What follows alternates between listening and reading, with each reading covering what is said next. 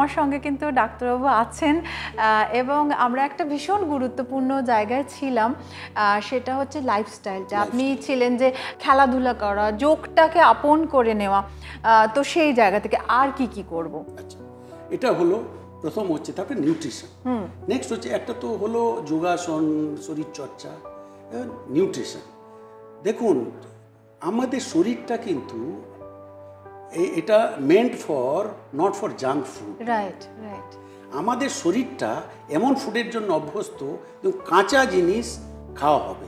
যেমন নেচার থেকে যে র মেটেরিয়ালটা আসছে ওটাকে পরিপক্ক করে খাওয়া। ওটাকে রিফাইন্ড করে খাওয়ার কিন্তু ওটা আমাদের শরীর তৈরি হয়নি। কিন্তু আমরা ওই রিফাইন্ড হ্যাঁ। ইয়ে ফুড দিয়ে মানে এখন যেমন আমরা প্যাকেটজাত খাবার অনেক বেশি খাচ্ছি. ভাজা ভুজি যেগুলো মুখরোচক খাবার আমরা যেগুলো বলি সেগুলো আমরা বেশি খাচ্ছি। ডিপ ফ্রাইড যেগুলো খুব তেলে ভাজা সেগুলো খাচ্ছি। এবং এখন বাড়িতেও বাবা মাদের একটা প্রবণতা হয়েছে বাচ্চাকে প্যাকেটজাত খাবার কিনে দেওয়া তাকে খুশি করার জন্য। হ্যাঁ কিন্তু আমাদের আশপাশে যে শাকসবজি এবং ফলমূল সেটা দিয়ে আমরা মনে হয় ভালো থাকতে পারি। একদম। নেচার ফুডে থাকবেন স্যালাড থাকবে প্রচুর গ্রিন লিফি ভেজিটেবল থাকবে। ময়দাটা অ্যাভয়েড করা উচিত। চিনি একদম চিনি তার গুড় খান।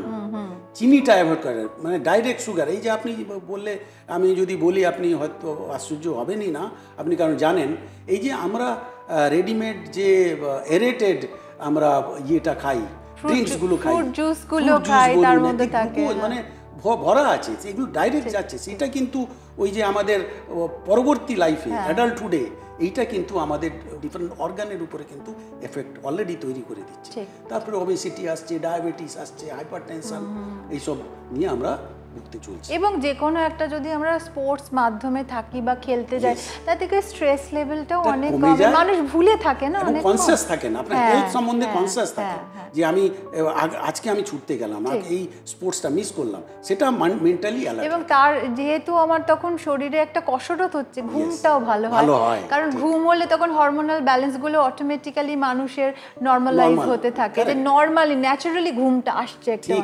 অ্যাকচুয়ালি আমি যেটুকুনি জানি যে একটা মানুষের শরীরটা হচ্ছে একটা মানে সমস্তটা ব্যালেন্স মানে একটা টেবিলের চারটে পাঁচটা পায়ার মতো। একটা পায়া যদি নড়বড় হয়ে হয়ে যায় টেবিলটা কখনো স্ট্যান্ড করবে না। হ্যাঁ একদমই একদমই। তো আমরা ন্যাচারালি কি করে ভালো থাকব সেটা ডাক্তারবাবু কিন্তু আমাদের সেইটা বলে দিলেন। এবং দায়িত্ব হচ্ছে আমাদের সেগুলো পালন করা। আমরা তো অনেকে জেনে শুনেও অনেক কিছু ফলো করি না। অনেক সময় আমরা দেখি যে এমন হয়তো সিভিয়ার জিনিসটা হয়ে গেছে যেখানে হয়তো সার্জারিতে যেতে হচ্ছে। তো এখন যেটা গাইনোকোলজিক্যাল প্রবলেম আমি দেখেছি মাইক্রো সার্জারিটা খুব এখন মানে মানে ভালো দিক। এখন আর পুরো ওপেন করে করতে হচ্ছে না। তো সেই ধরনের কেসেস এইখানে আইকিউ হসপিটালে মানে আপনারা কীভাবে টেক কেয়ার করেন? প্রথম যদি বলি যে পিসিও পিসিওতে আমরা সার্জারির দিকে আমরা ওই দিকে প্রথম আমাদের চয়েস নয়।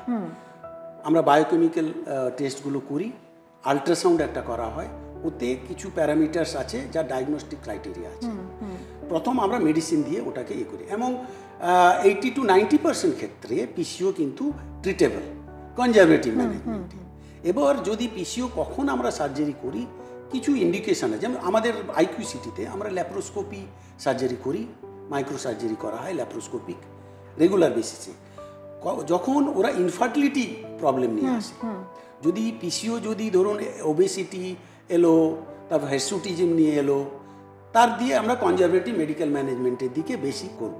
ওখানে ল্যাপ্রোস্কোপি সার্জারির দিকে প্রথম চয়েস থাকবে না। কিন্তু যদি পিসিও ক্ষেত্রে একটা জিনিস হচ্ছে যে বিয়ের পর যে বাচ্চা হওয়ার দিকে একটু অসুবিধা। অসুবিধা হ্যাঁ। তার জন্য ওদের আমরা যেটা এ করি ইনিশিয়ালি ওভুলেশন প্রোটোকলে ডালি। যেমন এই যে ইনফার্টিলিটি সেন্টারে গিয়ে ওভুলেশন মানে ফোর্সড আমরা ওভারিটাকে স্টিমুলেট করি। স্টিমুলেট করে ওভুলেশন করানো হয় তারপর ন্যাচারাল প্রসেসে ইনিশিয়ালি তৈরি হয়। ওটা যদি তিন চার মাস পাঁচ মাস ধরে যদি না হয় তখন অন্যান্য অ্যাডভান্স হ্যাঁ, পদ্ধতিতে যাওয়া হয়। এখন কথা হলো মাইক্রো সার্জারি কখন দরকার হয়? পিসিওর ক্ষেত্রে। যে যখন ধরুন যে ওভারিটার ওভারিটা আলট্রাসোনিক ফাইন্ডিং এমন হয়েছে যে এমন কটেক্সটা এত থিক হয়ে গেছে যেটা ওভারি যে স্টিমুলেট করা হচ্ছে তাতে রেসপন্ড করছে না। আচ্ছা। তখন মাইক্রো সার্জারি করে আমরা বলি ওভারিয়ান ড্রিলিং করা হয়।